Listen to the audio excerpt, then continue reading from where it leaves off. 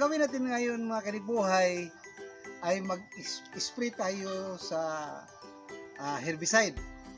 Bakit mag-spray tayo sa herbicide mga kanibuhay sa lakatan natin na maliit na plantation? Kasi mga kanibuhay, ang gawin natin ngayon ay paano siya i alagaan ang lakatan na tinatawag natin na sa sloping area mga kanibuhay. Buhay, dapat na tayong mag-actual mixing sa sa chemicals natin na herbicide. Ang herbicides mga kanibuhay para sa damo dapat patayin natin damo na malapit lang sa puno natin.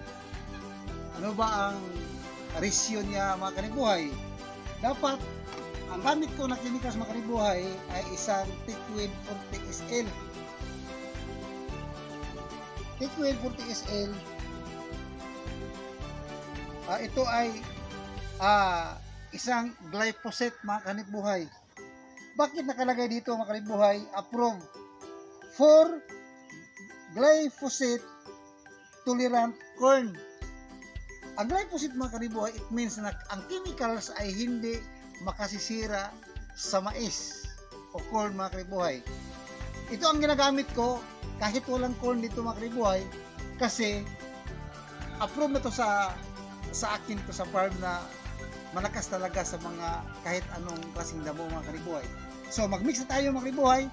Ang isang ah, knapsack natin ay meron siyang 16 to 18 16 mayroon nakalabel doon no 16 liters ang 16 liters dapat makalibuhay parang para ah, tamang ratio sa pagmix dapat ay isang can ito ng ah, sardinas. Pupunuin na natin. Isang latang sardinas. Dapat unahin natin yung chemicals natin. Isa, lagyan uli pa ng 1 fourth parang lalong lumakas.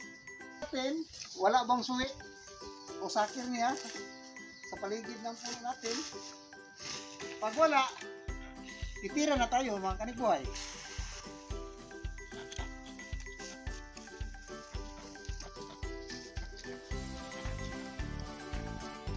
Ang intention natin mga kanibuhay, ba, bakit isang litro lang ang papatay natin ng damo? Kasi kung lahat natin papatayin, pag umulan mga kanibuhay, simple sloping ito, ah, sasama lang ng agos ng tubig ang ating NPK mga. Ang NPK, diyan natin kukunin sa topsoil natin. Pag lahat ng damo ay papatayin natin, mawala ang NPK natin. So, kailangan lang na dapat sa puno lang tayo mag-concentrate. Isang litro lang ng layo galing sa puno para sa wala siyang competitors. Walang aatake niya na mga mga ibang mga virus at saka yung mga ah, bakterya mga kanibuhay. So, ito na.